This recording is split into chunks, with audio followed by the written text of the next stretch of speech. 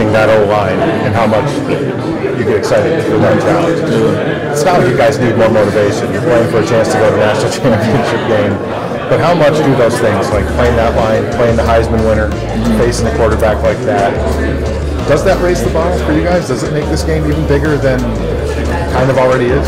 Nah, it definitely don't make it um, bigger than it can. I think I think this is like an opinion question because um, some people have some people have different opinions. For me, it don't raise the bar at all. It's just uh, another game to me. Uh, we got something we working for. Like in the beginning of the season, is like the first game. We want to win that championship every year. So in the first game, I feel like the first game we we working to win the national championship, and we just still working right now.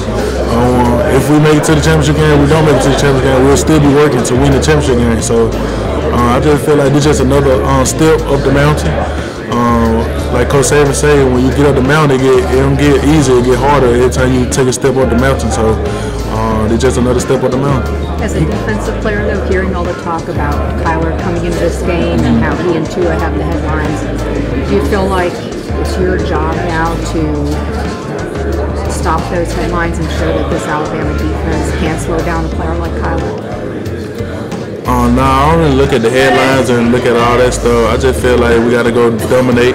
Uh, it's not about Kyler Murray. It's uh, everybody make it seem like it's about Kyler Murray, but I feel like this defense, we're not looking at Kyler Murray as Kyler Murray.